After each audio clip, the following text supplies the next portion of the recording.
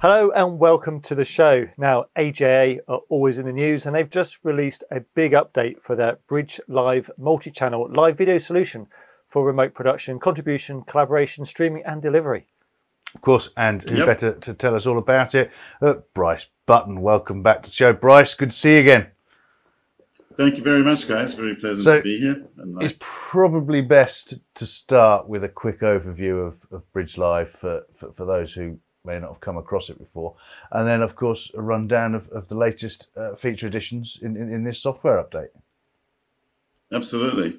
So, Bridge Live, for those not familiar, is a 1RU unit uh, that's designed for multi channel HD and Ultra HD uh, streaming, uh, back end uh, remote workflows, transferring um, signals for multiple cameras uh, backwards and forwards, uh, range of remote workflows. And at heart, it basically has a um, range of SDI connectivity uh, for I/O, and then, uh, as originally designed, translating that, encoding, decoding to all the world's major sort of codecs, uh, whether we're talking MPEG 4, uh, HEVC, JPEG 2000 for higher end picture quality, um, and ensuring you can get that to all the various platforms you need. So we found that it's serving everything from broadcast, uh, even you know feature production if you're trying to move signals around the world for producers to check things, mm. educational environments, medical environments. Uh, so it's a single one RU device that's capable of handling a, a, wide range of those kind of needs. So mm. we're very excited to release the news in the last few days. We've put out our latest version of this uh, software as part of the software hardware package. And what it's added to the mix, which is huge, is a range of things. But probably the biggest news is that we're now including support for NDI, whether that's on input or output. So this is kind of a logarithmic change. It's not just SDI to NDI. Uh, it can also transcode between those various codecs and NDI. So we see an explosion of possibilities becoming available to all end users here uh, because you're effectively taking a really effective um, low bandwidth high quality uh, IP approach for a lot of video workflows and we all know that NewTek's NDI uh, has really taken off in the last couple of years. And so now whether you're transporting video across uh, IP or working with traditional SDI signals the ability to mix and match all of this between your various codecs, uh, I think is going to really serve the industry extremely well. Mm. So that addition of mm. NDI on on the Bridge Live is actually a really important feature to have, isn't it? Absolutely, because in practice, what we've seen, uh, you know, at the highest end of IP workflows, you'd be looking at something like ST2110, uh, and that's going to be completely uncompressed, but it's also highly demanding. Uh, so you need a lot of bandwidth. You're talking fairly expensive switches, um, all that type of thing. Uh, and, and in practice for a lot of outfits, that may be a stretch too far right now, especially as things are a little financially and strained and, and so on as businesses deal mm. with a mm. lot of realities. Um, so in terms of NDI, this is a pretty ubiquitous standard uh, and also allows you to utilize things like even iPhones and so on, right? A lot of stuff can go on the NDI network uh, aside from traditional cameras.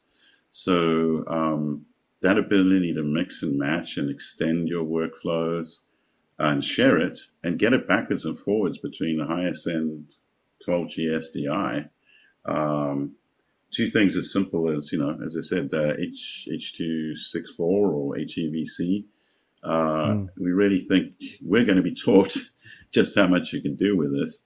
Um, but it, it, enables a range of networks, whether what we're doing here today, which is, you know, a, the new form of broadcast where we all get together and we're effectively using IP across the world here. Um, or actual broadcast itself, where it makes most sense in some of the chains, and especially for the smaller call letter stations. Um, it, it gives them the ability to mix and match these IP and coaxial approaches. Um, you know, one of the secondary features that comes with this this new release is HLS support on both input and output. Uh, if you're not familiar with HLS, it's effectively sort of the protocol that's going on with things like iPads and that type of things, where you share signals um, across HLS. So that expands the range of tools, you know, all the different hammers we have at our disposal yeah. uh, to bring them to yeah. service of great you know, transport.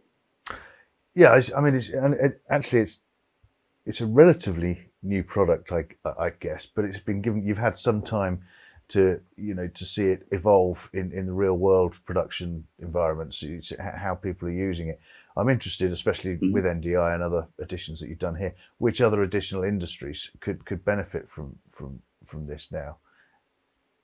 Well, we've been we've been kind of fascinated, right? Because you're right, uh, it's a relatively young product as as products go, and the mm. rate at which we're evolving this thing is quite incredible. I, I take my hats exactly. off to to the guys and you know how much they've been achieving in a short amount of time.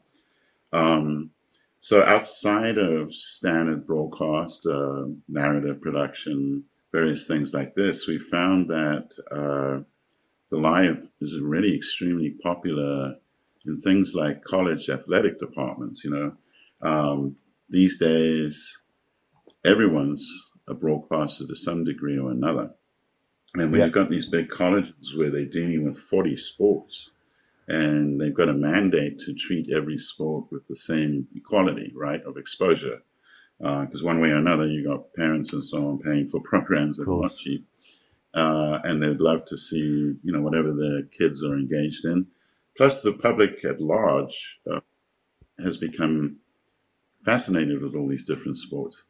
And so that's a simpler example, but it's stretching from athletics into other departments. You know, a lot of the media departments in schools are basically being tasked with helping uh, with these elements of remote education, and video, of course, can be a big part of that.